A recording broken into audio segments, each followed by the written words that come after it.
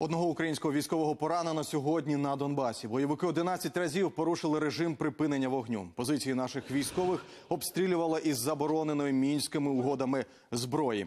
Зокрема, на Луганщині ворог декілька разів відкривав вогонь з мінометів та гранатометів. А на Донецькому напрямку зі стрілецької зброї.